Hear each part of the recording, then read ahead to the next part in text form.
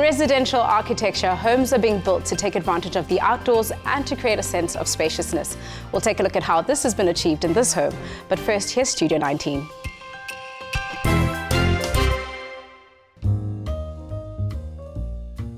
Honest design and authentic materials will never date. That simple timeless style will outlive any trend. Studio 19 takes us through their new range and how every single product and project design passes through the hands of local South African artisans.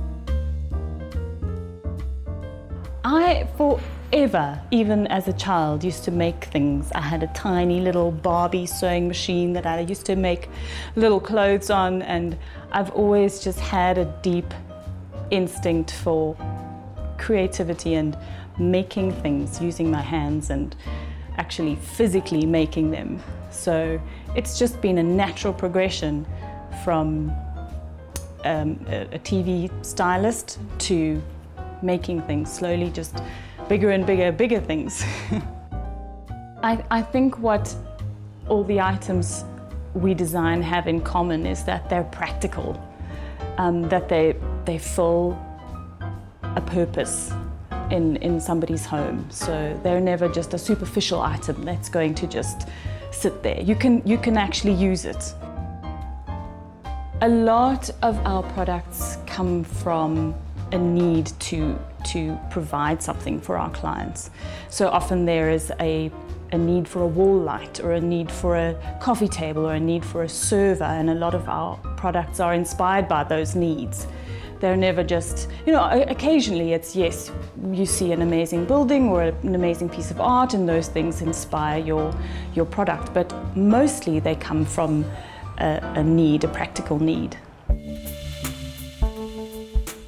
Our most recent design that we're really excited about um, came about when I met somebody who wrapped steering wheels for a living.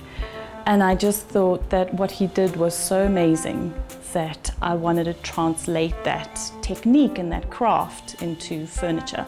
So we designed a chair and a little side table um, and an armchair, all using this technique of, of wrapping tubing with leather um, and, and hand stitched. And it's, we've come up with a range of, uh, called the Smith range.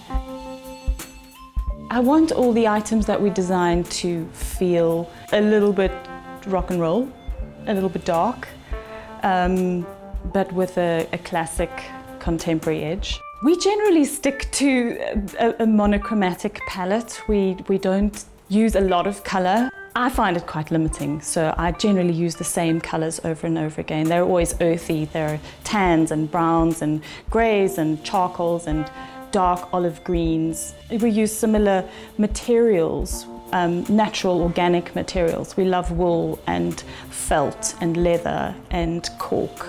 So we, we stick to a very natural palette. I think inspiration strikes at the most random times. Um, when you feel the need to be inspired, it generally doesn't happen. So sometimes it's just like, oh, I have an idea. And then we'll sketch it out and we'll translate that into a technical drawing, so with measurements and with materials, and we'll have to find somebody to, to manufacture that item. And then that item goes through a product development phase where it gets tested and um, trialed sometimes, several times. Sometimes it's a total disaster and sometimes it works out. But um, that's generally how something is, is born and sometimes it's totally accidental. So that's generally the journey of a, a product from inception to completion. I do look forward to my rest. We work so hard all year that I think we really look forward to our downtime.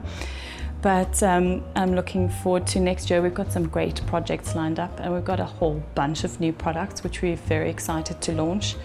So I think next year will be great. By supporting local artisans and other creative businesses, we are helping to build a self-sufficient industry capable of representing our country on a global level.